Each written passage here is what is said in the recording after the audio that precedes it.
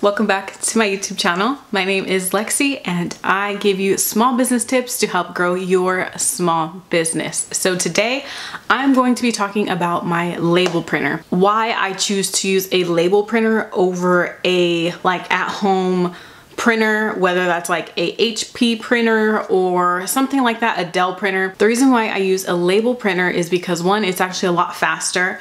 I can mass print out my labels really, really fast. Also, it does not take any ink and after you buy the printer, all you need to buy is just more paper and that's it. If you aren't sure what even a label printer is versus a home printer, in simple terms, basically what this does is it uses like heat and a laser to print out your labels versus ink because your at-home printer uses ink um, and I'm gonna show you guys mine. This is the one that I use that I can recommend. But overall, I just know a lot of small business owners use a label printer versus a at-home printer and it's fairly, fairly easy. So the one I've talked about I will leave it linked down below if you guys would just rather skip to that portion and just get into it yourself. Or if you would like me to talk through this product, that's what I'm gonna do. This is just the one that I have that I've been using. I've been using it for about a year now and I absolutely love it. I do not use my ink printer at all. It's super easy to figure out. It's not hard at all and I really, really like it. So mine is actually a knockoff of a very more expensive bougie type of printer. So if you're like, this is still expensive.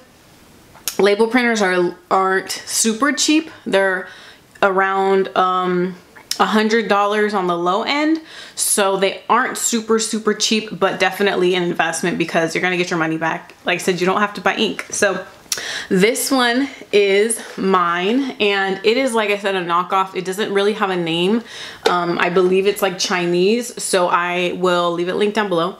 But I bought it from Amazon and it's super thin and like small. It's not doesn't even take up a lot of space which like a home printer can take up a lot of space. Now yes it does less than a like a at-home printer. You can't make copies. You can print out your shipping um, packaging slips with this as well but it's pretty easy. So this is what mine looks like. The paper comes out here. Um, this open button there's an open button here to open up the printer on the inside there's a button here when you, uh, a light here when you plug it in. Green means it's good, red means that there's like a problem or it doesn't have paper or something. Really, really easy. And it has the cords down here in the back. So for this one specifically, you need a USB outlet on your computer and a um, outlet. So it's not, this one's not wireless or Bluetooth or anything. You need to have a USB port into your computer to use this label printer.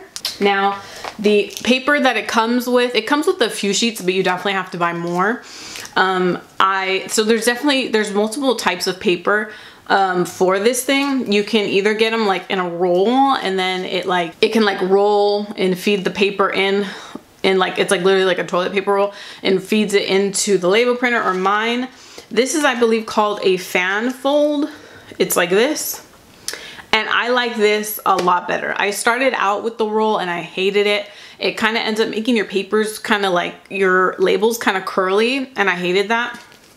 This one makes them nice and flat, which I like. I um, this is just how I do it. So I will show you guys step by step like how I actually, if you want to see how it's used. I just recommend that you pay attention to this. If your label printer is not working, make sure that the sticker side is up. So like you'll see that the back of this sticker is literally like a back of a sticker. It cannot print on here. Make sure you have the paper side up. I've done that multiple times where I'm like, nothing's printing out what's happening.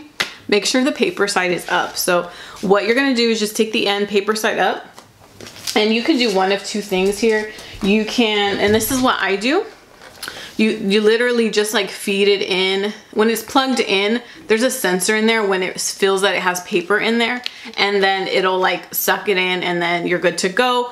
Or you can literally lift the tab up and then put your paper in and place it up here at the top if you'd like. But it's super easy super convenient. Like I love it. I'm gonna take you guys to my dining room but just so you know We just got a fish, so please excuse the water noise in the background. If it bothers you, let me know and I will continue to film in here and not in the front with the fish.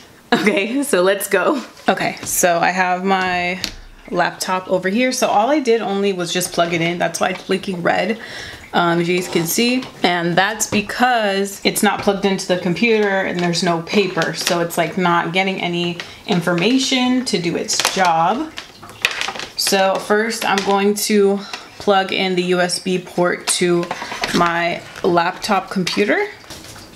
Let me turn this around so you guys can see. So I have my fan paper and make sure my paper side is up and I'm just going to feed it in and you guys are going to see what it does all on its own. So I'm just going to gently, well, you just want to make sure that these two little tabs, you can pull and push them. You just want to make sure that they're the right size of your paper. So mine is because I've already set it up. So I'm just going to push it through. And it's ready to go. Okay, so I'm gonna print a shipping label. I'm gonna print a few so you can kind of see how it works.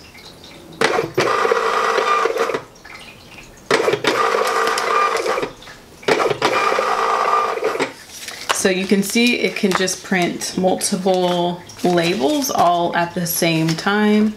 Like this is my baby. I cannot do anything without it. I love it. I highly, highly recommend if you guys would like to check it out or just check out a label printer in general. I will leave a link down below. Subscribe for more videos so you don't miss out on anything else because I will be dropping more tips and tricks for your small business at home. So I'll see you guys in the next video. Bye. Um, so all I'm gonna do is click print on my computer. It's going to send it to my label printer and and it's that easy. Now I have the label. I'm going to peel it off and literally stick it on here and that is how you create shipping labels using Shopify. Super, super easy. It's not as complicated as people might think. It's pretty, pretty simple. So I'm going to peel that off and then just continue to fill the rest of my orders. Peels right off. I throw this part away and then stick this and I stick this right in the middle of my package and it's good to go. Some things you want to worry about is make sure that wherever the barcode is, it's flat. That's like the most important thing. If you guys are not using a label printer, you're using your at-home printer, I highly recommend if you are going to tape, do not tape the tracking number and the scanning. If you're going to just put packing tape over the label print the, the label just do not cover the barcode. And make sure the barcode is flat it's not bumpy it's not ripped so they can scan it easy. So boom that's how you create shipping labels. It's super super easy especially if you use shopify